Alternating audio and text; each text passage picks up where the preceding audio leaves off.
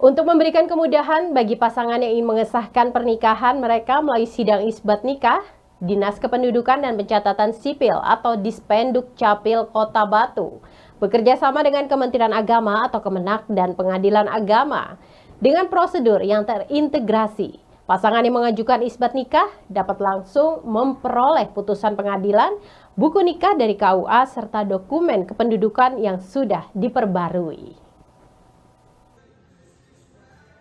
Sebelum mengajukan sidang isbat nikah, pasangan perlu melakukan perubahan pada beberapa dokumen penting, antara lain kartu tanda penduduk, status pernikahan di KTP yang sebelumnya belum kawin harus diubah menjadi kawin.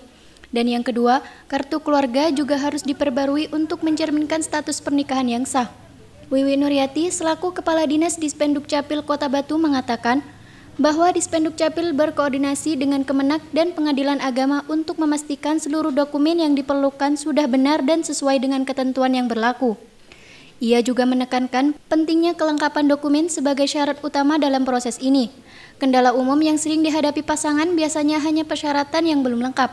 Oleh karena itu, Dispenduk Capil selalu siap memberikan panduan dan bantuan kepada masyarakat agar proses pengajuan sidang isbat nikah mereka berjalan mulus. Dengan prosedur yang terintegrasi ini, pasangan yang mengajukan isbat nikah dapat langsung memperoleh tiga dokumen penting setelah sidang selesai, yaitu putusan pengadilan pengesahan dari pengadilan agama, buku nikah dari KUA sebagai bukti resmi pernikahan yang diterbitkan oleh kantor urusan agama, dan yang terakhir, dokumen kependudukan dari Dispenduk Capil berupa KTP dan KK yang sudah diperbarui. Beliau berharap dengan adanya sistem ini Semakin banyak pasangan di Kota Batu yang dapat mengesahkan pernikahan mereka melalui isbat nikah. Ia juga berharap jumlah pasangan yang diisbatkan semakin banyak, karena pelayanan ini merupakan bentuk kemudahan yang Dispenduk Capil berikan untuk masyarakat Kota Batu. Dengan proses yang terintegrasi, masyarakat hanya perlu mengajukan persyaratannya satu kali dan bisa langsung mendaftarkan ketiga dokumen tersebut.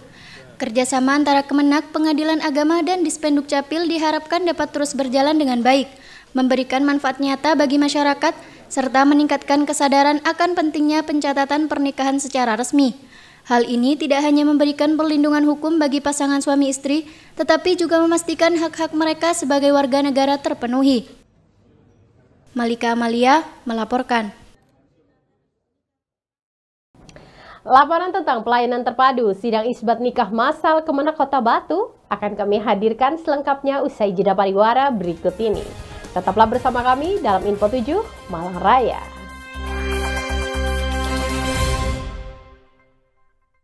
Fasilitasi pemudik pada Hari Raya Idul Adha, PLN siapkan 65 unit SPKLU di 23 lokasi sepanjang tol Trans Jatim.